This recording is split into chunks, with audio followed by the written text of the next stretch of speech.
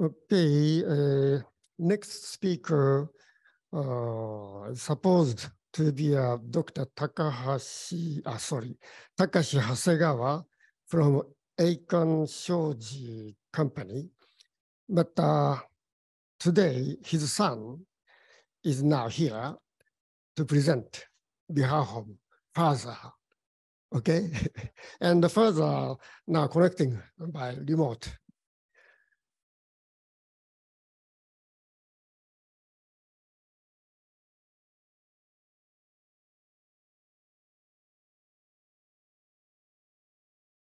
The title of his presentation is the air tightness of large building in Japan, current situation and a proposal for the future. Okay, for you to start, please. Uh, thank you for introducing us. But uh, firstly, uh, Takashi is not a doctor. He's not a researcher nor a doctor. He is more like a, a site worker, and he got some experience in uh, air tightness testing. So we'd like to share the experience and the knowledge in Japan. Um, マイビデオを開始しているのは OK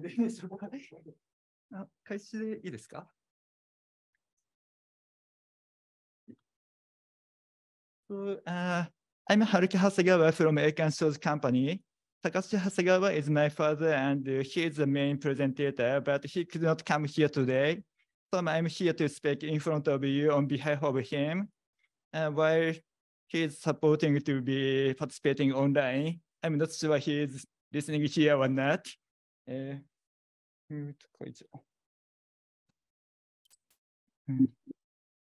uh, he has been involved in mm,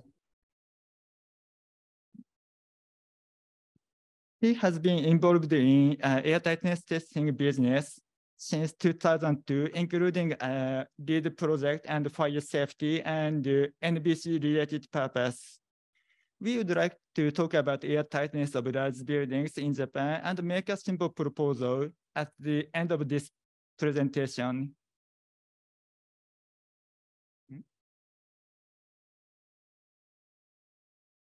Uh, as an introduction, I give you a real project which we participated.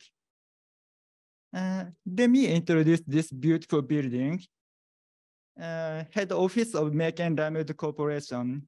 Meiken Lamwood is the major manufacturer of uh, cross-laminated timber, or CLT in Japan. They use their own product in this building gorgeously. The building received commendation from uh, Architecture Institute of Japan, uh, 2022. Uh, uh, AIJ commented some reasons of commendation. Besides its excellent design, AIJ pointed out the building's high air tightness and the way to achieve the level. Uh. The comment says the process uh, on-site audit, uh, on-site audit and fix it repeatedly, and test worked successfully and good enough to be seen as a role model for future projects. It might be the first time in its long history of the award, air tightness was highlighted in such a manner Takashi participated in this project at the phase of shop drawing. He explained the importance of continuous air barrier, which is the main theme of building enclosure commissioning, and conducted air tightness test or blow door test uh, using this type of equipment. I think it's the same type of the equipment uh, Dr. Uh, Walker explained.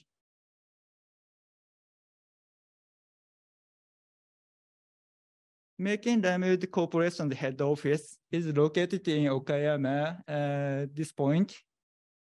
It's a beautiful place, though the climate is not always comfortable. The graph shows uh, this graph, the highest and lowest temperature in the area. In summer, it goes to uh, nearly 40 degrees C.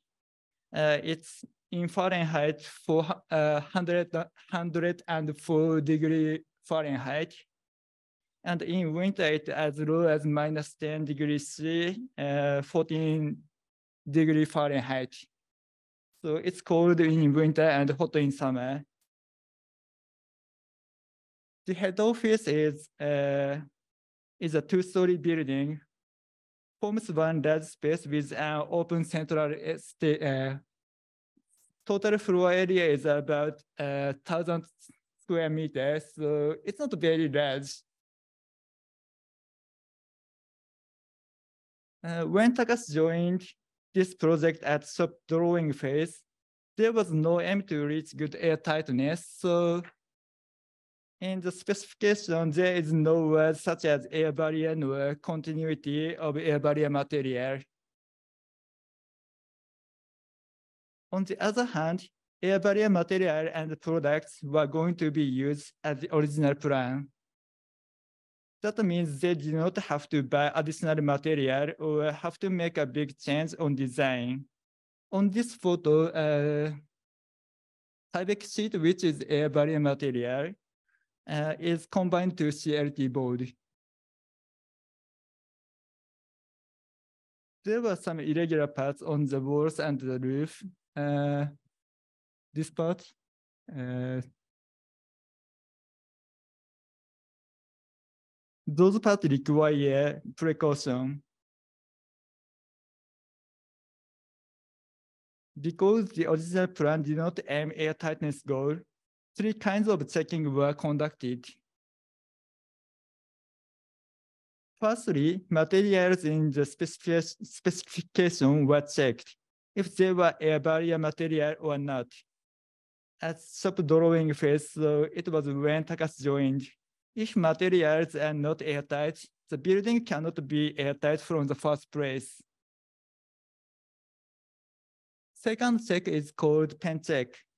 At this process, architect of this project, Sato-san, and the project manager, Omura-san, made a plan of, of where and how to connect materials without gap. Uh, these pictures help the builders and subcontractors understand what to do on site. So red line is the air barrier.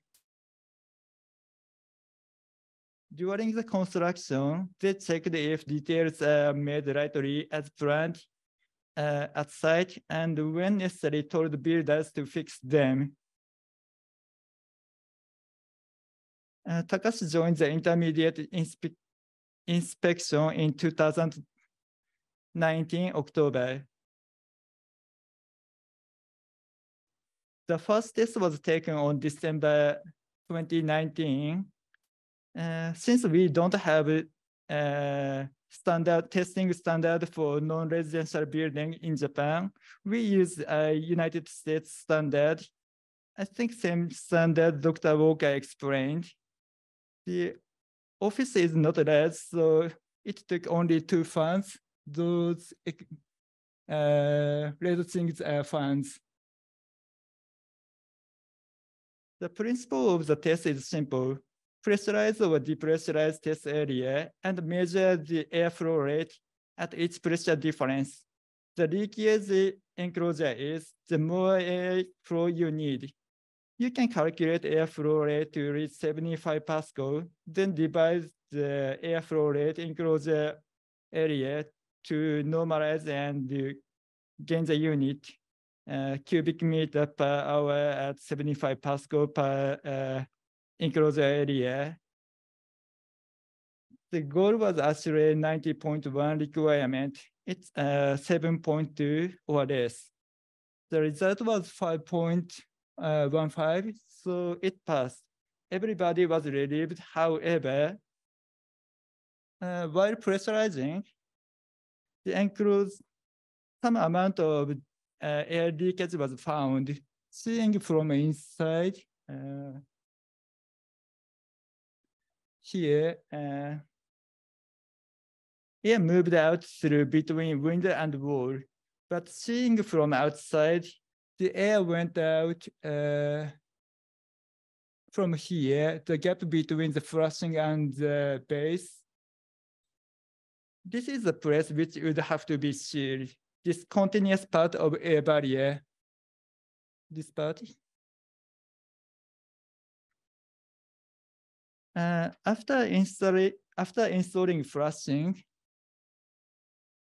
uh, here, it was difficult to connect air barrier in good manner. I think that's the reason of this leakage. After the first test, uh, they put additional sealant into the gap between the flashing and the wall. The second test was conducted. Compared to first test, 90.2% of leakage was reduced. So for the first test, uh, we used two fans and the leakage was reduced, so only one fan was required for the second test. Um,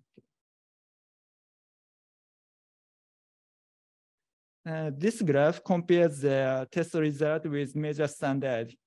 The first test satisfied ASHRAE 9.1 requirement.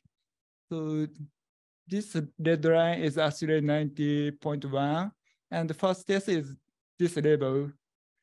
Then second test was conducted and it passed the USACE protocol, which is used for uh, United States Army's buildings.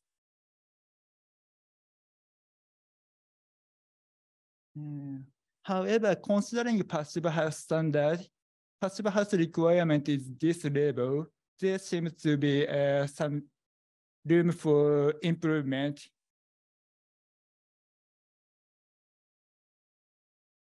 Meiken Lamwood has released operational report that shows high uh, indoor, indoor environmental quality and they are happy about it. The company also claims that the office uses only one fourth of energy compared with normal building. Normal building is here and making uh, is here. The consumption includes heating, cooling, lighting, and etc. Please remember the climate in this area, hot summer and cold winter. I think this reducing this amount is uh, something. Uh, so far, I was talking about data and fact. And on this slide, I'd love to speak hypothetically a bit. What if the air tightness goal had not been set and PENCHECK had not been conducted? I think it's difficult for the building to pass the ASHRAE level, so it might be somewhere above this deadline, then uh, with the PENCHECK and effort, it passed the ASHRAE level at the first test. And it is clear that uh, additional af after sealant af with uh, additional sealant, it passed the uh, USACE level. So uh, to pass the USACE protocol, the, this effort was uh, required. More importantly, I'd love to love you to think if passive house level, this red line was possible or not.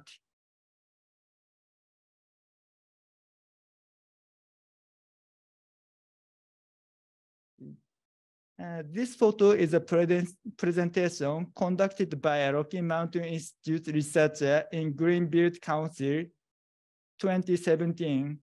This graph explains what effort reduce the heat load in winter in a real project.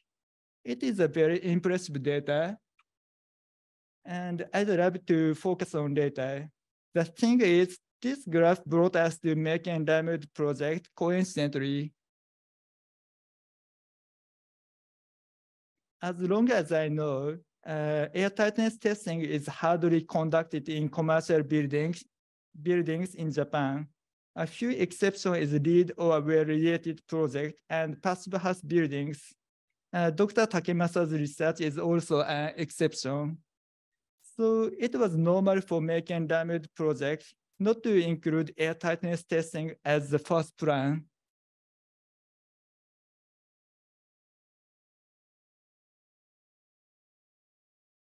The presentation in Greenbuild was introduced in Japanese magazine, but it was not the main topic of the article. So it was just one sentence to mention about air tightness. The article quotes the presentation like uh, on the way to build a zero uh, energy building, among the approaches with latest technologies, reducing air leakage, which is old school, worked best. Takashi happened to find the sentence and felt so happy that he went to see the author of the article. And the author was the project manager of Meiken Lamwood. At that time, she did not know air tightness testing can be conducted in Japan. So she connected the Meiken project and Takashi. It does not happen every day, does it? This graph means a lot to Takashi personally. Though this graph tells us about the relationship between air tightness and heat load.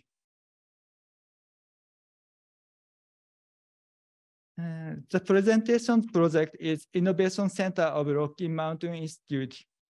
The building is in Colorado, snowy and cold. Uh, it's built in 2016 in Colorado and got some uh, certifications, but I'm not sure about this certification. However, I understand it is very airtight. Uh, I know the number is too small, but it's the uh, uh, air tightness level in uh, air change per hour. And it the building is 0 0.3, 0 0.36 and passive house requirement 0.6 here. And this is a USACE requirement and ASHRAE requirement is here. So this label is very airtight.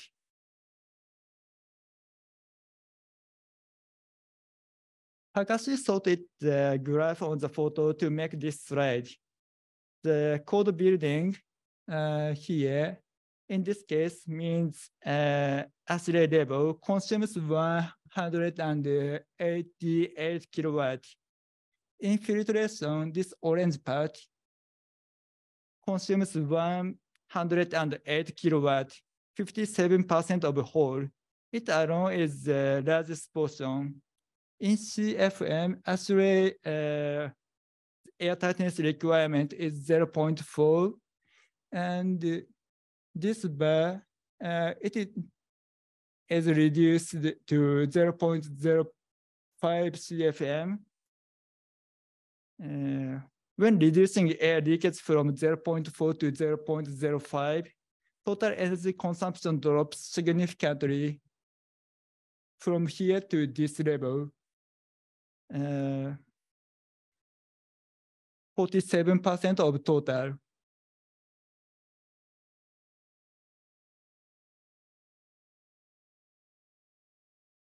Takashi so far participated in eight projects, mainly these related.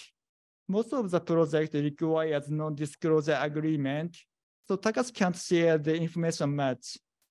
We are very thankful that Meiken Lamwood allows us to share the their building's information. Uh, from the experience, what Takashi has learned is that achieving ASHRAE or uh, USC requirement is not difficult when pen check is conducted properly. This table is the data of eight buildings we tested. All passed uh, ASHRAE requirement, four passed USACE requirement.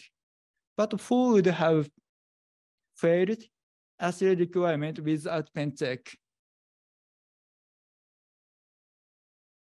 Japanese engineers seem to think building enclosure commissioning is a special technology or a totally new thing. What is building enclosure anyway? It is simply consists of uh, four barriers listed. Uh, water barrier, air barrier, vapor barrier, and thermal barrier. Uh, according to US researcher, uh, I don't know how to pronounce his name, Jay Lstiburek. Lstiburek, thank you. Uh, according to him, there is hierarchy importance. Sorry, I couldn't remember. he explains it as uh, no builder is woken up by a phone call for air leakage in the midnight, but surely when water leaks. Uh, so water barrier comes stop. Then air and water, then air vapor thermal. Please note that air barrier is prior to vapor barrier and thermal barrier. From the point of birth, uh, water barrier is the oldest. Thermal barrier comes next, uh, 1930s. In 1950s, police sheet appeared to stop air leakage, which is vapor barrier also. It worked well in the day of fireplace and chimney, which pulls air and moisture out of the walls. When fireplace is gone, uh, serious moisture-related problems occurred. Then uh, air barrier was made less in 1980s. A monumental paper was written by R.L. Quirouette. I'm not sure again. Uh, he separated air barrier from uh, air vapor barrier in definition. We now have the four barriers necessary for building enclosure commissioning. Commissioning of the building enclosure started 2005 and improvement has been made until now.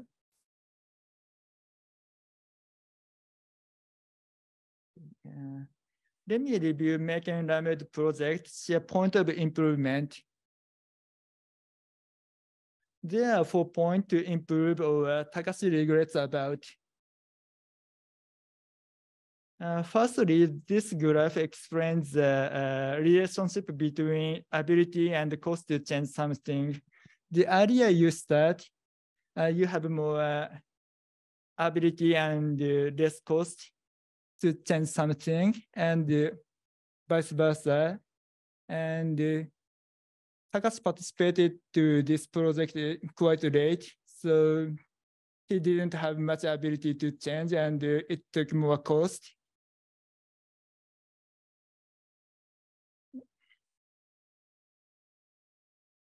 Secondly, uh, material check and pen check are important process. It might be better to take longer time.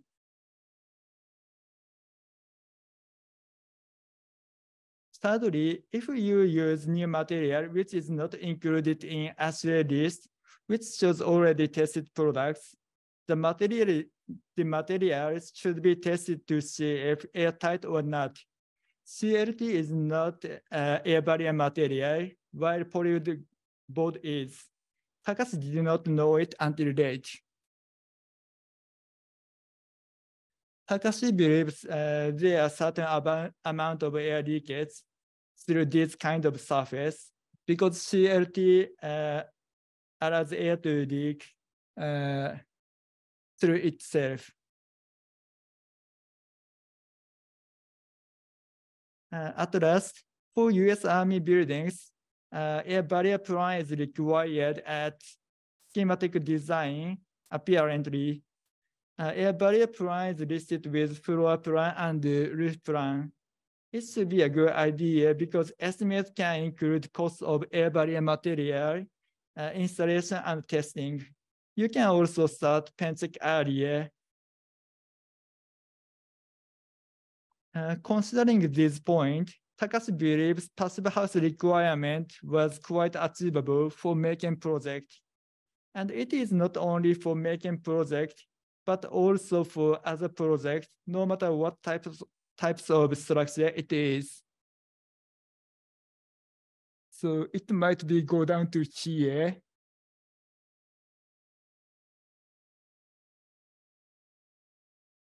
Uh, Takashi's proposal to Japanese is simple. Uh, let's study a barrier.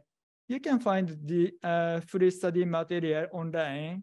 It should be different from what Japanese people might imagine because it's something new for most of us. Uh, if you are interested and the air barrier is new for you, Takashi wants you, you to try pen check first because pen check is a good place to start. While conducting pen check, uh, you will find gaps between materials not connected, not connected on drawings. which was invisible before you tried this process. Uh, if you want to learn more about airtightness, these websites provide free articles and you can find more professional course to proceed deeper as Mr. Uh, Kiwatashi introduced in his present presentation. Uh, thank you for listening. Thank you very much. We have no time for discussion, but uh, if you like, one question. Okay, if you have any question, um, after the all question, uh, our presentation, we have a time for discussion. So thank you very much.